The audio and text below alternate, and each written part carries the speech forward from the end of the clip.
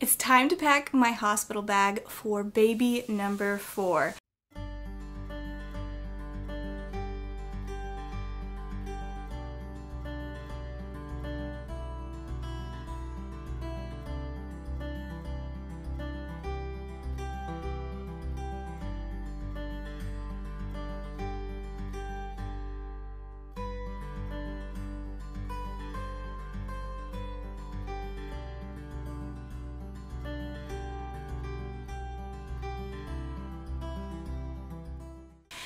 I would hope after having three babies in the hospital and then getting ready for this fourth that I would know, at least for myself, uh, what I need and what I don't need. So hopefully you find this list helpful. Obviously, there are things that I prefer to bring that others would not find helpful, or there are things that I don't think I need and other people would want. So you can take this list as kind of a starting point and then go from there. And I'll explain why I'm bringing items so that you can understand the purpose of me bringing them to the hospital.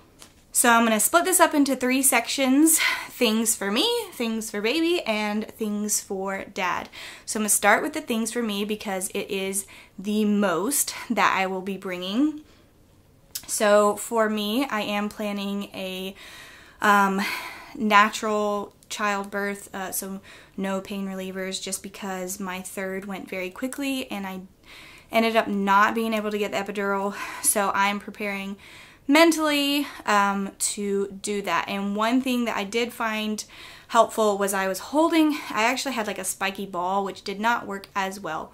But I've um, heard that combs, I think a lot of people use wooden combs, but um, you can put, you know, put this the comb part in the palm of your hand and then kind of like squeeze as you're having contractions. It kind of puts like a little bit of pain and pressure in your palm part and can hopefully relieve a little bit in your brain the pain of the contractions and stuff. And with the ball, it did help some, but it wasn't quite, I think, spiky enough. So I'll be bringing two combs for that. And even if you're not planning a natural birth, um, the contractions leading up to getting your epidural could be pretty bad. And so, you know, having those to deal with the pain until then might be helpful. I'm going to be bringing one soft bra. This is um, a specific nursing bra, but one that you can pull down. But even if you're not going to be nursing, just kind of a soft bra um, to be able to wear something comfortable in the hospital. I usually just wear the um, gowns that they have up until me getting ready to go just because you're up going to the bathroom, you're dealing with a lot of stuff. For me, I'm nursing, so I'm just like pulling it down and nursing, and I don't feel the need to wear like cute clothes or anything. It just kind of gets in the way for me. But I do like to have like a soft bra to go with that. After having the baby, I only use this with my third and I wish I had had it with all the other ones. Um, this is like a support belt kind of thing. There are like three or five, three different ways that you can wear it. Um, but for me, after giving birth, um, this helps so much. There's like three parts. Hmm, I gotta read the instructions again. Uh, with back support right after, and then it also starts just help helping like squeeze in all that excess skin and everything um, and I just find it very very helpful to have all of that support even right after having the baby. So I do like to have that in my hospital bag to start wearing as soon as possible.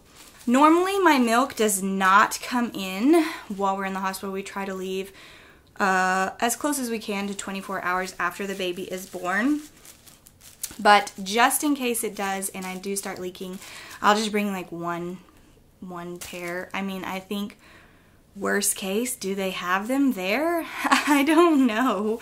Um, like if you end up staying longer, uh, I feel like they should provide those. Eh, but I'm not 100% sure. So if you're having like a C-section, um, maybe you can bring more, but usually your milk doesn't come in for a few days afterwards. Anyway, so that's just kind of like an just in case. I probably could get away with not bringing it. This is just a little tube of coconut oil that I put in uh, myself and I use this as kind of like a natural nipple cream and very very helpful and even after 24 hours sometimes you do need it. Baby is learning to nurse. Um, you know you're learning to nurse this new baby or your first baby or whatever. And so they can get sore if they do start getting really really bad. I mean as for a lactation consultant anyways it's just good to do. and they can just come and check the latch and see if everything's going right. And then comfy clothes to go home in. So these are not maternity clothes, but they're just super, super stretchy pants. This, oh, I have socks, of course. This is just a nursing shirt, super comfy nursing shirt. And then I'll bring my more like supportive nursing bra to wear home. So this next one is sort of for you, sort of for baby. um, maybe this is in the baby category, but a boppy pillow. I uh, have used this actually for all three, this is gonna be my fourth, for babies. And I do use it for nursing, of course, like if you're sitting next to him, you can prop the baby up with you sitting there. Um, this doesn't quite bring baby up all the way to here, so I do usually like sit in a chair with arm rest that I can prop this up on or like have an additional pillow underneath the side that the baby is nursing on. That's just me. And then a toothbrush and toothpaste. I'll, I also have one in here for my husband. Um, chapstick course. Extra hair tie. I think, you know, normally I have one on my wrist or in my hair, but if I didn't and I'm in labor or just like afterwards and everything and I just want to pull up my hair, it would just be so sad if I didn't have a hair tie that I could do that with. um, and then in this little case, I just have some shampoo, conditioner, and body wash. Um, they, I think, usually have some there, but it's just a little case that I have, so I'll be bringing that and then some warm socks, forms of fuzzy socks with grips on the bottom to be able to wear um, either while you're in labor or after as well. So uh, if you live in a place where you need your insurance information, don't forget to bring that. And then if you're going to be doing a birth plan, I have one copy that I keep in my hospital bag and I give it to the nurse right when we get there so that she can review and put it with my chart. And then I always do like a little nurse gift, or I guess really anybody. I made six. I probably will not have that many nurses, maybe only two or three. Um, and then I can just, you know, leave the rest for whoever else um, may have like helped with the room or whatever uh, or just other nurses they could give them to other nurses. So in this one I have a Hershey's bar some gum a pen and then just like a little paper that says thank you. So that's what's in all of them. Each of them have a different colored pen.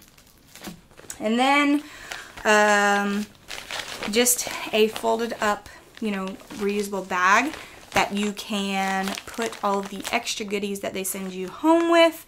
Um, when you have, they usually give you like a pack of diapers and wipes that you'll use in the hospital. You're probably not going to use all of those, so definitely take those home. I like to, you know, take all the mesh panties that are in there, um, any of those like crackable ice pack things. They'll probably give you some of the, um, you know, uh, numbing spray. They'll have like little bottle. They have little um, bulb syringe for baby. I'm trying to think if there's anything else specifically that I like to grab. Um, those are kind of the main things, but it's nice to have an extra bag because you don't may not necessarily have extra in your hospital bag. So that's everything I'm packing right now for me, but I will put like a list right next to my bag of things to grab when it is go time. And those things include my AirPods, uh, camera, chargers, brush, deodorant, and of course my purse with my wallet and information in there. So moving on to baby, there's not a whole lot that I bring for baby. Um, I guess the boppy pill might be in this category. But I am going to bring one pacifier. I mean, it's a personal choice. There are lots of different recommendations on when to introduce a pacifier or whatever. I personally think it's up to the parents what they want. Um, you know, there are things that say that they could be nipple confusion. I've never had a problem with that. Definitely have babies refuse the pacifier, which is why I really want to try to do one with this baby um, you know or also that they might be sucking on the pacifier and you might miss hunger cues. I am pretty set on like feeding my babies uh, every two hours especially during the day. And then of course as i see needed um, but so that's that's just me. That's just me. So you choose you. But i'll be bringing a little pacifier I'll also be bringing this stretchy swaddle and a little bow to take some cute pictures of the baby in the hospital. And then I can, of course, use the blanket on the way home. She'll be born in May, so it's not going to be cold outside. And then uh, going home outfit, so I just am bringing, you know, like a little onesie and pants. And these are the sock type things that we use um, for our children, or at least for the last one or two, I can't remember. But they're just so nice because they stay on their feet so much better, and it's literally just one. You don't have to like keep up with all the little socks. I do have a couple little socks because sometimes I just use them for um, scratch mittens, so I'll bring one pair of socks, or you know, you could bring scratch mittens for them because they may scratch themselves on the way home don't want that to happen. And because I'm paranoid and think it might be a boy, I'm gonna bring a, a, a gender neutral onesie just in case. And this one's actually zero to three months because my boy was my biggest. Um, my babies are pretty big anyways, but both of my girls were at least able to fit into newborn size for the first couple of weeks or so. And that's everything for baby. Because for me personally, I don't want to do a whole bunch of outfit changes. I just have them wear the shirt and a diaper with the blanket in the hospital. It's just easier. And of course, they have the little hat for them to keep their head warm. But it's just easier for me. So, last, we have the stuff to bring for dad. So, blanket from home. Just a little bit more comfortable for them um, on that whatever kind of pull out couch type bed that they have for them. And then I am going to bring, and this is really kind of just mostly for during labor and like right after baby's born if he needs to change clothes um, because for us he usually will go home once during the day um, to shower, get changed, eat lunch, eat a, a meal or whatever. Um, but I will bring some like comfortable clothes and sweatpants for him, just with one change of full change with socks and everything, clothes and sweatpants. And then I'll bring snacks. Same thing, like I said, this is really just kind of like for him to snack on during labor if it, you know, the need arises. Um, and I've brought more snacks than this in the past and we really haven't needed them. Like I said, he'll just go and get food. In the past, some people have brought us food, but that's obviously not going to happen now. But um, yeah, so just something little just in case. And then they'll, of course, I have his toothbrush in my thing. And then the last minute things I'll put on the list for him to grab would be, of course, his wallet, AirPods, and deodorant. And the last thing I wanted to talk about are just some things that I personally don't bring because they are provided at the hospital or I just don't think are necessary. I've talked about a few of them, but here's some other ones. So I do not bring any other underwear, um, even to go home, because